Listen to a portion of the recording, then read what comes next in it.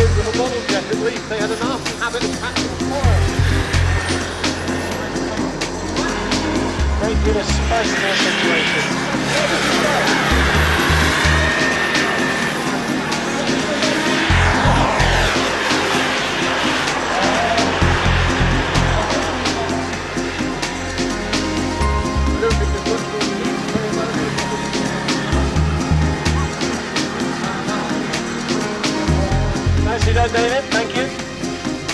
And uh, what's this? The F15 coming in? Yep, yep.